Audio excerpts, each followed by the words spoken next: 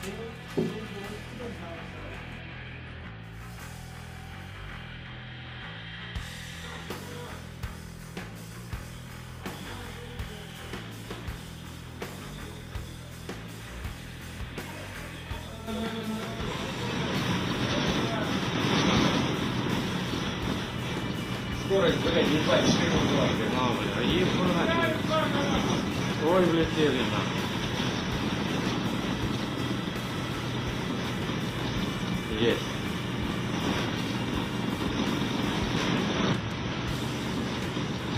すげえ。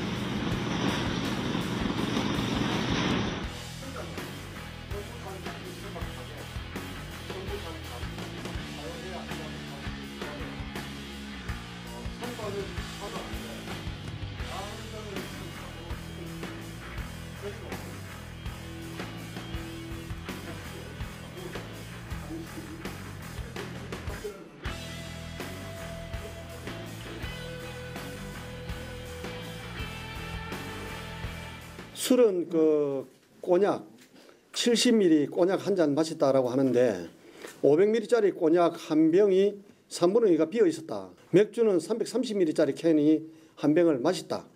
70ml 꼬냑 한 잔 마셨다. 이 부분에 대해서는 선장이 시인을 합니다. 단 사고가 난 이후에 마셨다. 예, 이게 선장의 진술입니다. 배를 운항하는 선장이 술을 마시면은 운항의 판단이 흐려집니다. 배를 조종하는 데 있어서 시거런대호 본선의 스피드, 자연 우연의 어떤 그 변침, 이번 사고도 그로 인해서 발생한 것으로 저희들은 예, 판단을 합니다.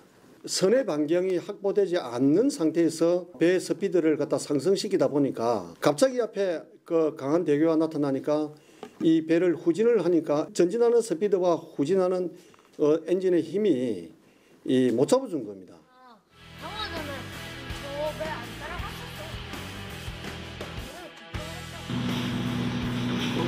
для чего такой алкоголь. На входе в любом случае. Да, я всегда.